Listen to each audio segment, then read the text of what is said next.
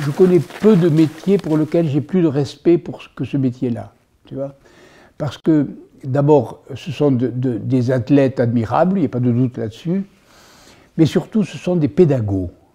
C'est-à-dire que mon guide ou mes deux guides m'ont appris des choses que je ne savais pas et qui sont des choses élémentaires pour la vie, tu vois. C'est-à-dire le, rapport à la terre, le rapport aux mains, le rapport à l'équilibre du corps, le rapport à la marche même. Et, euh, tu as l'impression de te dire, mais ma mère aurait dû m'apprendre ça. Tu vois ce que je veux dire? Ce sont des gens qui m'ont appris non seulement des techniques du corps, mais des choses philosophiques très très profondes, et dont je leur suis très reconnaissant. Tiens, c'est ça que je dirais.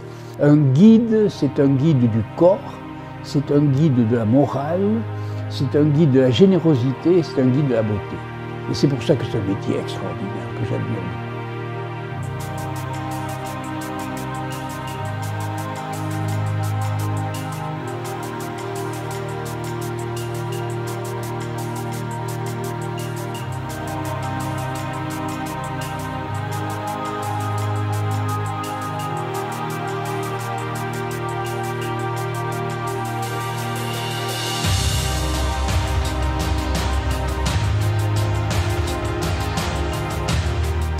Le sens du métier, ça c'est quelque chose qui est fondamental.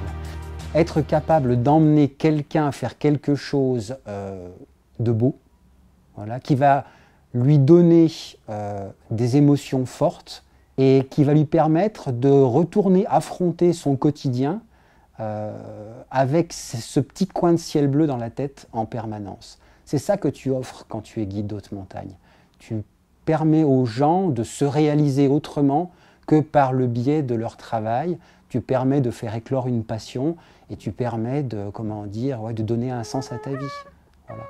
C'est automatiquement quelque chose que tu fais par passion, mais pour ça, il faut aimer la montagne, il faut aimer les gens.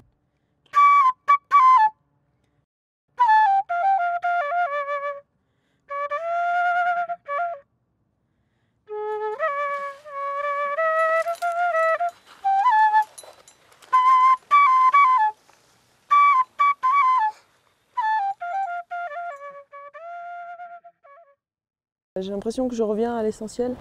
Je reviens vraiment euh, à la base, manger, boire, euh, marcher. C'est incroyable comme euh, je peux revenir d'une grande course et j'ai une pêche de fou. Et ben, c'est les gens qui me. C'est un échange, c'est un échange entre les, clients qui sont souvent des amis, qui deviennent très très vite des amis parce que les moments sont toujours très forts en montagne, très vite forts. Et euh, ça m'apporte énormément.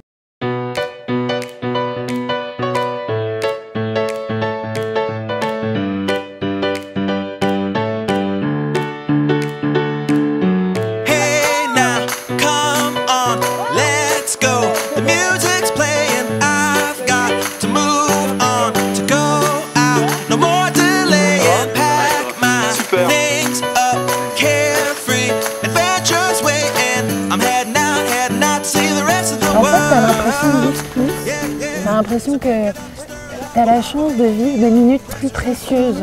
Ah bah Et au bout de 2, 3 heures, 4 heures, une journée de montagne, les gens sont à nu. Tu vois, ils sont à nu. Et quand ils vont repartir, tu sais que tu les as vus au fond. Ils vont, donner vraiment ce qu'ils ont euh, de, vraiment au fond d'eux-mêmes. Leur peur, leur plaisir. C'est magnifique. Il y a des gens qui disent écoute, j'ai vécu à des moments inoubliables de ma vie.